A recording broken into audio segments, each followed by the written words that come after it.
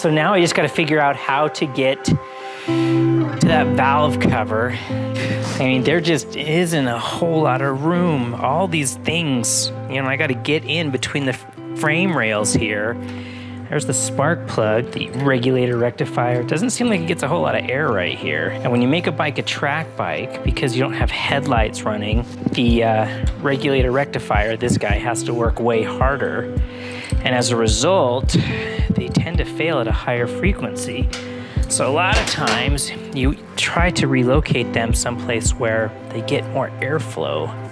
This little shroud around here is actually pretty awesome. The a lot of people pull these off because they think, oh, wait, but it funnels a lot of air into your radiator. A lot of like the race bikes will have huge ones of these things to pull air from all around the front of the bike to push it through the radiator. Especially bikes that live on racetracks, they just spin high RPMs. They're under load all the time. It's not like you're just like droning down a freeway where things are just kind of like idling and spinning around. But track life is a hard life. All right, so I can remember how this all goes back together. It's way easier than back in the days before cell phones when you just like drew a picture.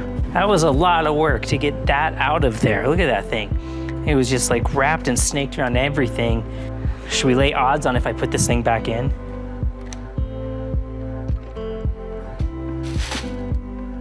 All right, now that we got that rubber bladder out of the way, there's actually a fair bit of room in here. I don't think this is gonna be that bad. Spark plug's right there, four bolts. I don't think this is gonna be that big of a deal. Randy was right, as Randy always is. Look at that, that's a nice happy little spark plug right there.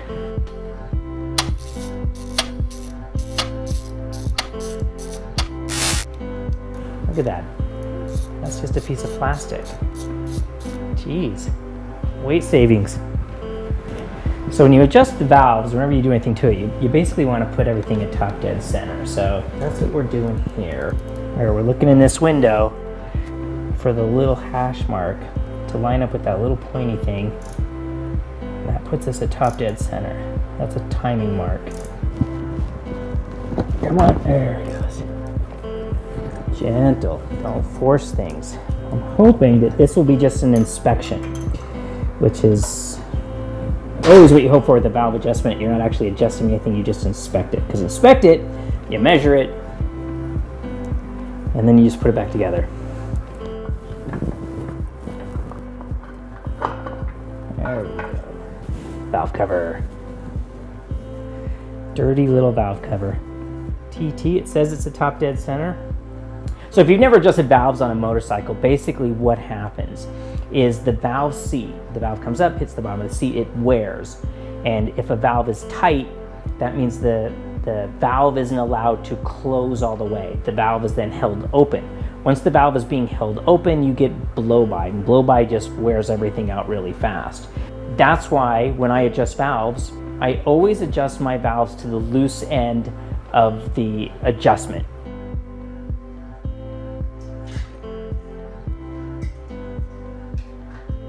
All right, so unfortunately, all the valves are tight, all four of them.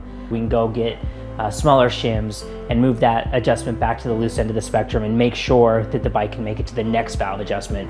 All right, so I always like to take a photo of the timing marks just in case.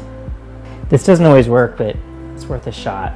I'll zip tie the chain to the cam in the right gear. This keeps the chain from slipping on the cam just in case.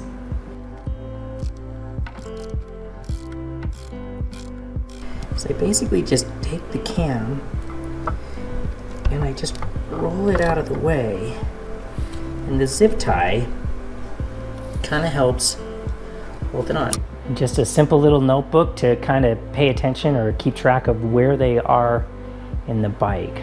All right, so now let's go grab the intake ones. My original measurement 0.08, 0.09, 0.12, 0.13. Then the shim that was in the engine 2.38, 2.40, 2.36, 2.30. My desired clearance, what the difference is, and the shim I need to replace it. This one needs a 2.34. I don't have a 2.34. 2.37. I have a 2.36. 2.31, I have a 2.30, 2.26, I don't have one of those. So I can move shims around to minimize which shims I need to trade.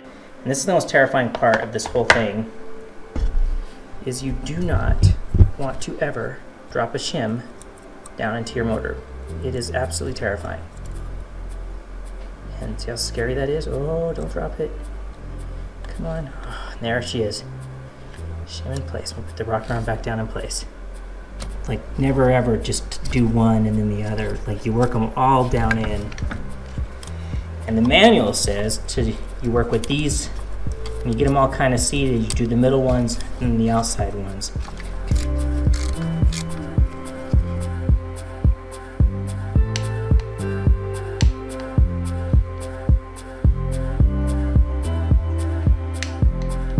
And the valves are adjusted. And while that's a fairly big task, it's, it's something that needs to be done to pretty much every used bike I've ever bought. And it's a regular maintenance item. It, it's not overly complicated, but there's a lot of steps involved and a lot of opportunities to really cock it up. Oh, cock.